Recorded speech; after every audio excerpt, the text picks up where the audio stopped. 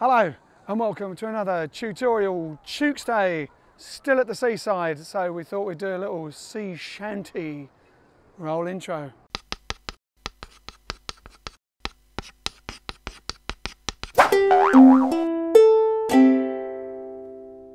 So we are still at the seaside and then you saw my pirate ship and that's a bit of a Captain Jack Sparrow sort of a thing and Pirates of the Caribbean obviously is coming out soon. Our good friend Kevin McNally um, who often comes to our gigs but he's a lovely chap and a great actor who is of course uh, the uh, first mate in Pirates of the Caribbean Battleship. and all that sort of thing. So we're going to do, in the mood, we're going to do a little, uh, what should we do with the Drunken Sailor, which is a very old folk song and sea shanty. And uh, once she's got like two, that's all right, you can come by. Look, loads of people here because it's lovely and warm in England. How often does that happen? And uh, so basically, yeah, it's a sea shanty. Um, and once you, it's like two chords. It's like the easiest thing you're ever going to learn. And also once you do it, there's loads of sea shanties and, and, and like folk songs that you can do with the two chords. And it's got a lovely sound. You can repeat it for ages, make up words to it, and uh, do that sort of thing. So what should we do with the drunken sailor? Or uh, I don't know, what solution do we have for the inebriated marine worker? Uh, here we go, to be politically correct. So uh, I'll give, I'll sing it first. Here we go. If you want. What shall we do with the drunken sailor? What shall we do with the drunken sailor? What shall we do with the drunken sailor early in the morning?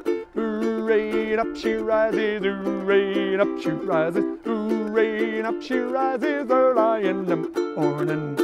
So there you go. Two chords, backwards and forwards. And uh, so one of the chords is you already know because I seem to be doing it every week at the moment, which is C. Right, open and just on the first fret, uh, first string, on the first string, I've gone all pirate, on the first string, on the third fret, as you see, because it's a C shanty. What a terrible pun! Where do you get those jokes? The next one is, you may not have already had before, is basically D minor, which is lovely and gives it that minory sound.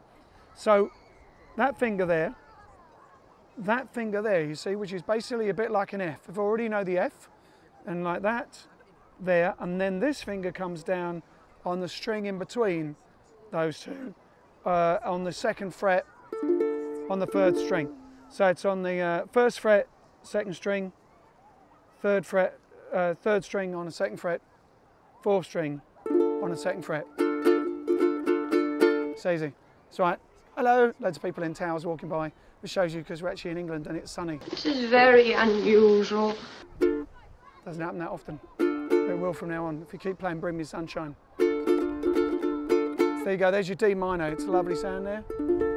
Hello.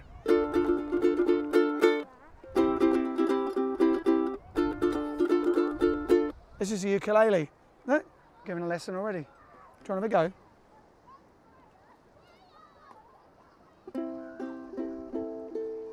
Brilliant. Put your finger on there. Just there. There you go. There you go. It's the first chord. That's easy. Anyway, that's basically the chords. You've heard how it goes. So if you click down there, you can get the little uh, the chord book, uh, chord sheet, and you'll see how to do it. Click all the other things that Alex is going to put up, and uh, share this. Learn your sea shanty, and we can all be pirates. There you go. That's how easy it is.